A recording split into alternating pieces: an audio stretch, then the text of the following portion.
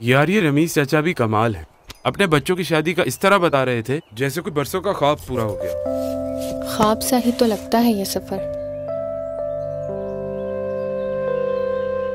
आँख खुली तो अब्बा को मजदूर देखा।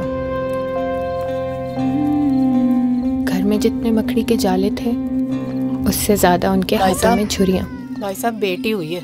जहाँ सब जता रहे थे कि बेटी हुई है वहाँ मेरे अब्बा बोले हाँ।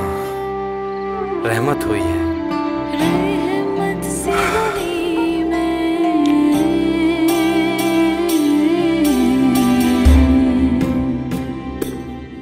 कोई चाहता न था, मगर अब्बा ने स्कूल में मेरा दाखला करवा दिया और मैं हवा में उड़ती बेफिक्र शहजादी।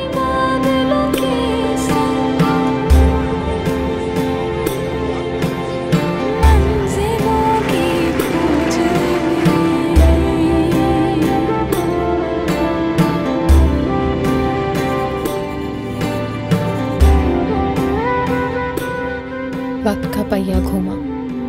अब्बा छोटे कॉन्ट्रैक्टर तो बन गए, मगर सेहत और उम्र के बोझ ने उनके कंधे झुका दिए थे। ओहो, अब्बा, इधर बैठे।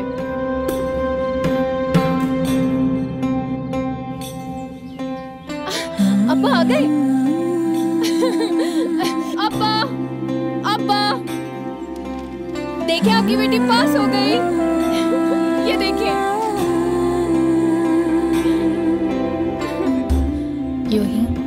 यूनिवर्सिटी में एडमिशन का वक्त आ पहुँचा।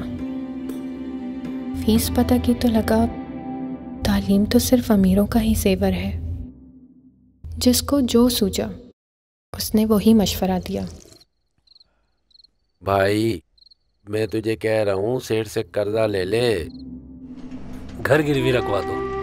अब्बा ने किसी को कोई जवाब ना दिया। फ़ीस भरने का आखिरी दिन था। और पैसों की कमी ने मेरे ख्वाब के सफ़र पर फुल स्टॉप लगा दिया।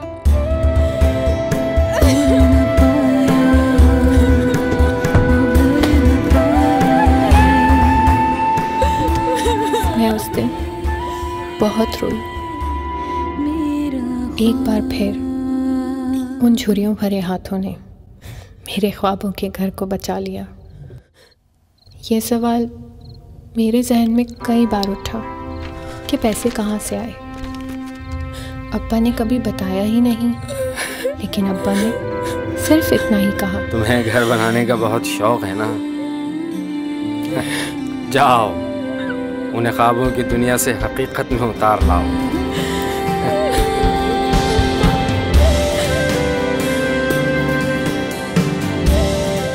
और आज जब अब्बा की बेटी आर्किटेक्ट सकीना खान वाकई बिल्डिंग्स बनाने लगी है। तो सोचा, ख्वाबों का एक घर हमारा भी हो।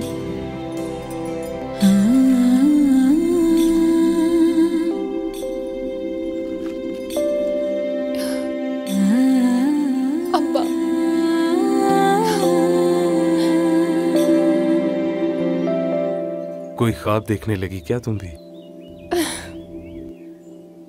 अब तो ख्वाब जी रही हूँ मैं।